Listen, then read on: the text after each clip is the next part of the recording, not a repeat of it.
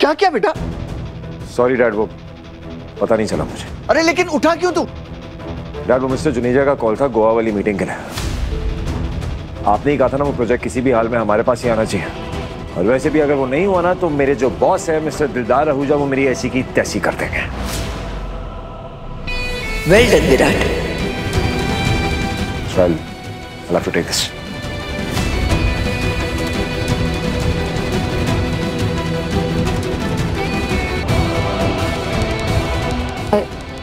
Sorry मैं मैं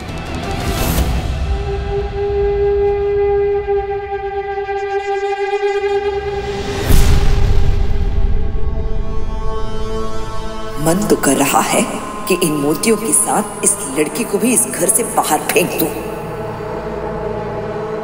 good Amrita.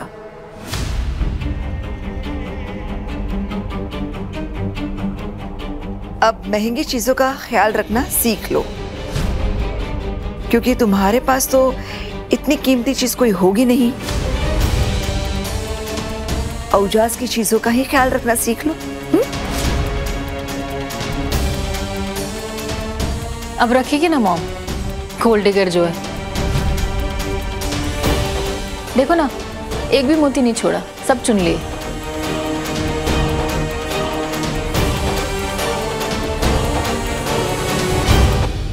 ठीक कहा आपने मैम। ज़्यादा महँगी चीज़ें हैं नहीं मेरे पास। लेकिन कुछ तो है।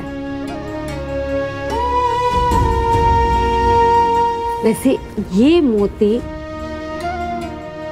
मेरे लिए अनमोल है। क्योंकि हर एक मोती में दिलदार सर का आशीर्वाद भरा है।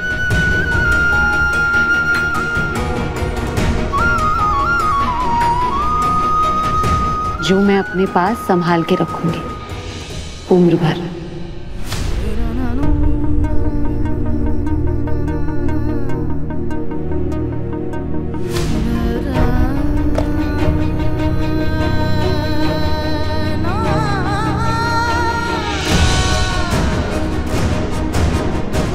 जीते रहे बेटा